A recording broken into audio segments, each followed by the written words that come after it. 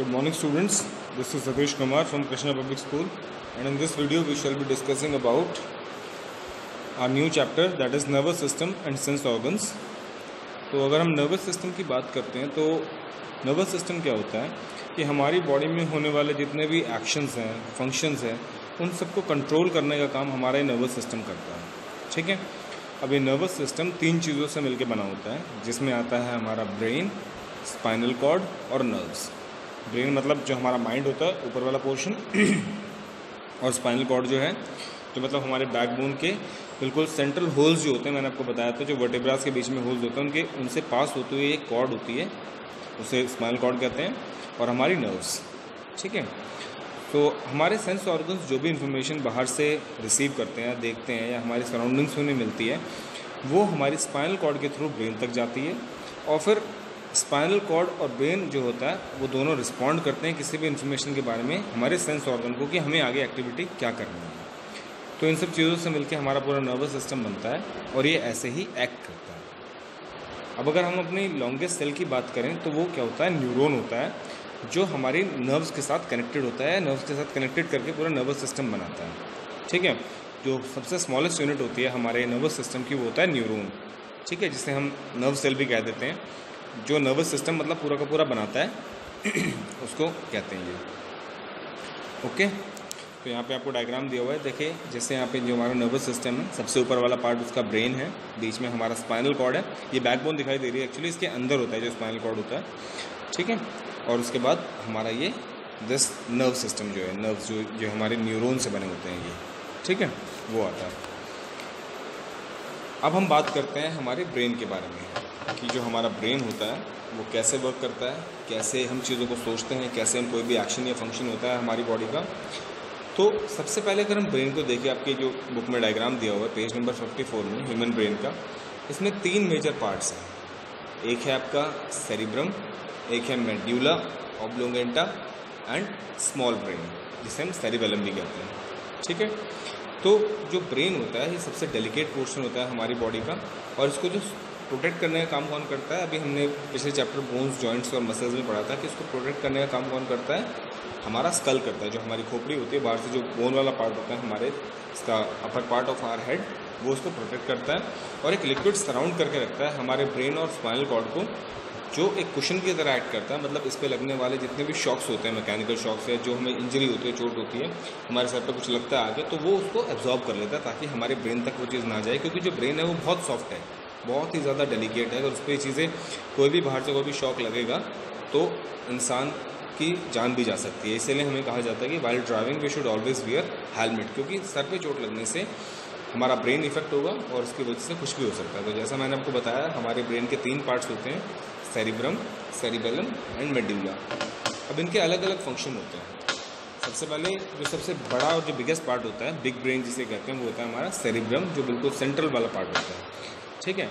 सो so, ये सबसे बड़ा पार्ट होता है हमारे ब्रेन का और इसीलिए इसे बिग ब्रेन भी कहा जाता है। और ये बना होता है रिजेस एंड फ्रोज से।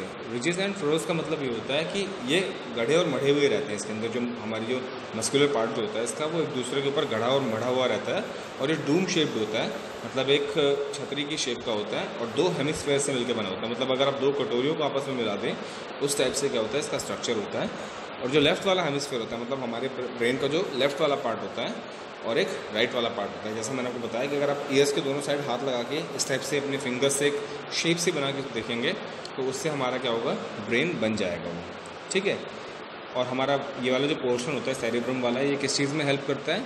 ये हेल्प करता है हमें किसी भी चीज़ को सोचने में, ठीक है, समझने में, याद रखने में कैलकुलेशंस करने में, या कंट्रोल करने में हमारे बॉडी के डिफरेंट पार्ट्स को।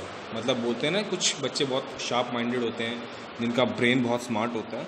तो वो सेरिब्रम का कमाल होता है पूरा का पूरा, जो भी कैलकुलेशन होती है, जो कुछ भी होता है उसके अंदर।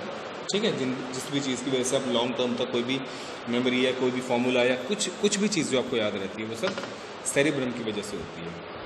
उसके बाद नेक्स्ट आता है हमारे पास सेरिबेलम ठीक है, जिसे स्मॉल ब्रेन कहा जाता है, जो हमारा पीछे की तरफ़ होता है। ठीक है तो सेरिब्रम के नीचे की साइड में हमारा स्मॉल ब्रेन होता है, जिसे सेरिबेलम कहते हैं, और ये कंट्रोल करता है हमारी बॉडी के मस्कुलर एक्शंस को, और यही हमारी मसल्स को एक साथ काम करने का कोऑर्डिनेशन भी जो मेंटेन करता है, और जो हमारा बॉडी पोस्चर जो है, उसको ये मेंटेन करता है। It also keeps the body steady by maintaining the balance when we walk हम जब चलते हैं, हमारी बॉडी का जो बैलेंस बना रहता है, हम नहीं गिरते हैं रनिंग करते हैं, कुछ भी करते हैं तो उस टाइम पे जो हमारी बॉडी बैलेंस को जो बना के रखता है, या जब हम बैठते हैं, उठते हैं, लेटते हैं, कुछ भी हमारी बॉडी का जो भी पोस्चर है, जो मेंटेन करता है, उसको हम क्या बोलते हैं? सेरिबेलम कहते हैं। मतलब जैसे अगर हमें सीधे बैठना है, जिससे हमारी बॉडी क्या रहे, ठीक रहे, या जब हम चलना है तो हम गिरे ना तो उस चीज़ को भी मेंटेन करने का काम कौन करता है? सेरिबेलम करता है। ठीक है? बहुत इंपॉर्टेंट पार्ट है। पीछे की तरफ़ होता है हमारे ब्रेन में, और उसका जो प्रोटेक्टिव एरिया भी होता है, ये कम होता है। यहाँ तक मतलब स्केल्स को अच्छे से प्रोटेक्ट नहीं कर पाता। इस वजह से। ठीक है? सो ये रीज़न होता है इसके अंदर। इसके बाद मेड्यूला होता है हमारे पास। मेड्यूला जो होता है, ये एक बल्ब लाइक स्ट्रक्चर होता है, जो हमारे ये मेडुला जो होता है, हमारा बल्ब लाइक स्ट्रक्चर होता है और ये कनेक्टेड होता है हमारे ब्रेन और स्पाइनल कॉर्ड के बीच में। ये कंट्रोल करता है हमारे involuntary functions like breathing heart beat ठीक है? इन सब चीज़ों को, जो हमारे कंट्रोल में नहीं है। और जब हम इवन सो भी रहे होते हैं, तब भी हमारा जो मेड्यूला होता है वो क्या होता है? वर्क करता रहता है। ठीक है? क्योंकि हमें सोते वक्त भी सांस तो लेना ही है और हमारे हार्ट को बीट भी करना है। क्योंकि अगर हम सांस नहीं लेंगे सोते वक्त या हमारा हार्ट बीट नहीं करेगा तो दैट्स क्वाइट ऑब्वियस हमारी जान चली जाएगी।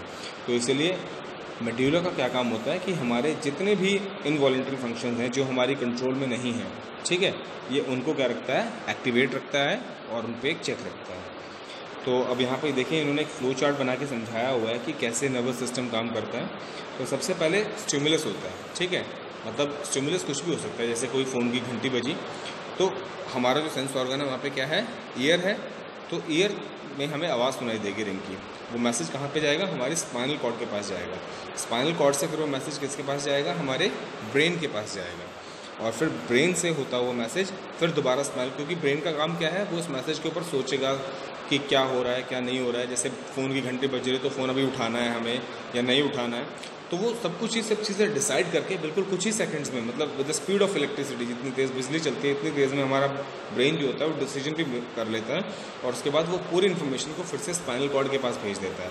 और स्पाइनल कॉर्ड इफेक्टर ऑर्गन जैसे मान लो हमारी फ़ोन की घंटी बजी तो स्पाइनल कॉर्ड मैसेज किसके पास लेके जाएगी? हमारे हाथ के पास लेके जाएगी कि भाई फ़ोन की घंटी बज रही है उसको उठा लो। और उसके बाद फिर क्या होगा? रिस्पॉन्स होगा। रिस्पॉन्स कौन करेगा? हमारा हाथ करेगा। हम अपना हाथ लेके जाएँगे और फ़ोन पिक कर लेंगे और फिर बात करेंगे। तो ये सब कुछ अपने आप नहीं होता है। कि फ़ोन की घंटी बजी और हमने उठा लिया और बात करनी शुरू होगी ये सारा काम किसका होता है? हमारे नर्वस सिस्टम का होता है, जो हमारा स्टार्टिंग फ्रॉम आर मतलब सेंस ऑर्गन जिससे हम सेंस करते हैं, वहाँ से स्टार्ट होता है। फिर स्पाइनल कॉर्ड ब्रेन तक मैसेज लेके जाता है। ब्रेन सोचता है कि अभी क्या करना है, क्या हो रहा है। उसके बाद ब्रेन मैसेज स्पाइनल कॉर्ड के थ्रू फिर ऑर्गन तक भेजना है, जिसको भेजता है, जिसको ये काम करना है। और फिर वो ऑर्गन क्या करता है? रिस्पॉन्स करता है। वो काम करता है, जो भी ब्रेन ने क्या किया है डिसाइड किया है।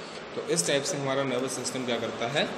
एक्टिविटी करता है okay students so this is what for today's class and thank you very much for listening me so far